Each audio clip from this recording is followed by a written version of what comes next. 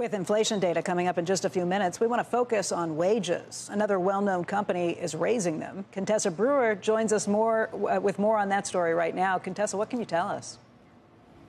Well, so Becky, from the folks who work behind the front desk here at the new Hard Rock Hotel in Midtown Manhattan to the housekeepers who clean the rooms, bigger paychecks are coming. Hard Rock International is ready to spend more than $100 million on wage hikes. The company broke the news to more than 10,000 employees, and we're not talking dollar or two an hour increases, but as much as doubling hourly wages in some cases.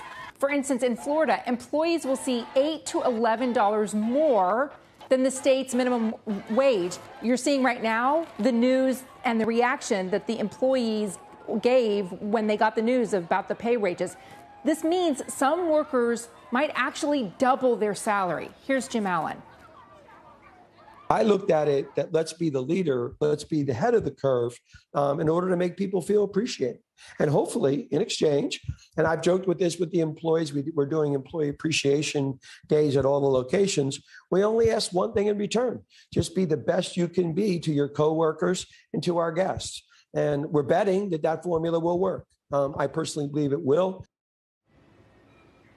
Allen says the real pinch points in hiring have already eased, but there are 1,600 open jobs at Hard Rock across the nation.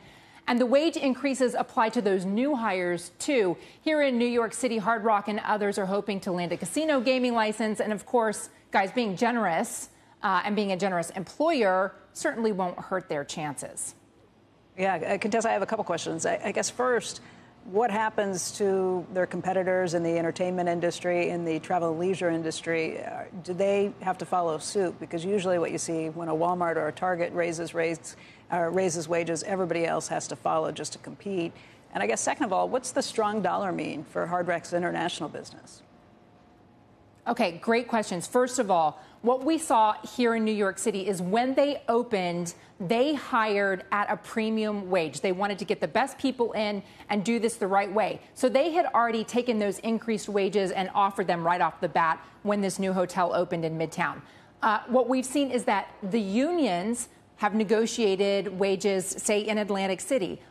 Hard Rock says these wage increases will apply to those people who, the non tipped employees, even if they are represented by a union. So they're getting rate increases even if the union has negotiated their wages. Does that put pressure? Yeah. If talent is in short supply, it puts pressure on MGM and Caesars to come up with a plan there. All right, on the currency situation.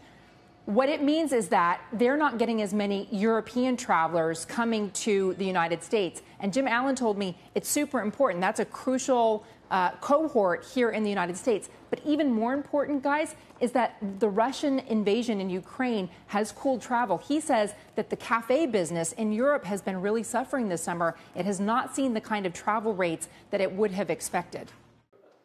Shepard Smith here. Thanks for watching CNBC on YouTube.